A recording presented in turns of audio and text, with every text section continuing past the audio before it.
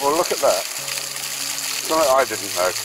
This fountain is sourced by the Gasumi Geki Misty Pond reaches a height of 3.5 metres.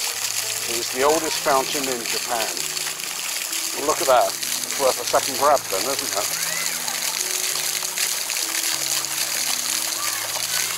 As we say back in England, you don't get much of that to the pound.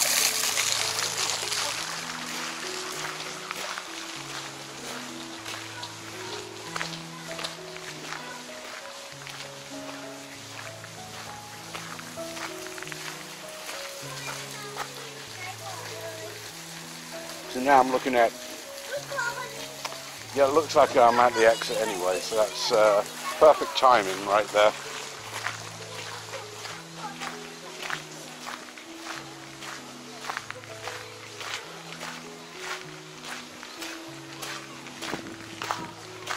I must say that was uh, well worth spending most of the day here. It's such a beautiful park.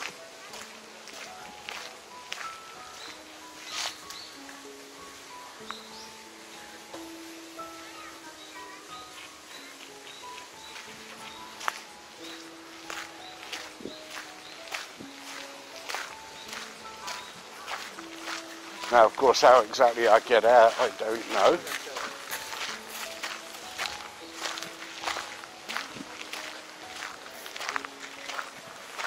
That's probably where we came in.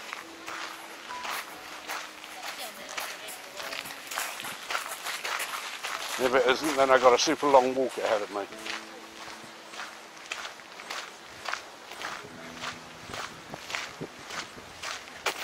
Yeah, it looks familiar.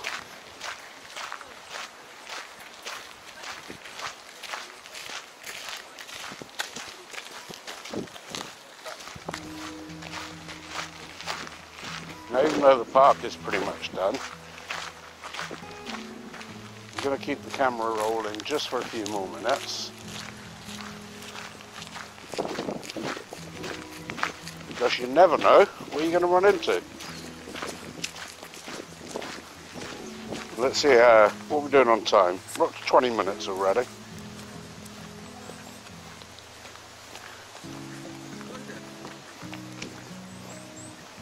So if we extend this one to 25, then we'll be good to go.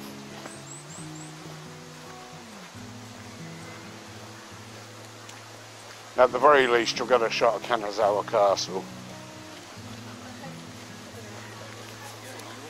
So I'm not actually heading in there because it's, uh, I mean, it's a little bland.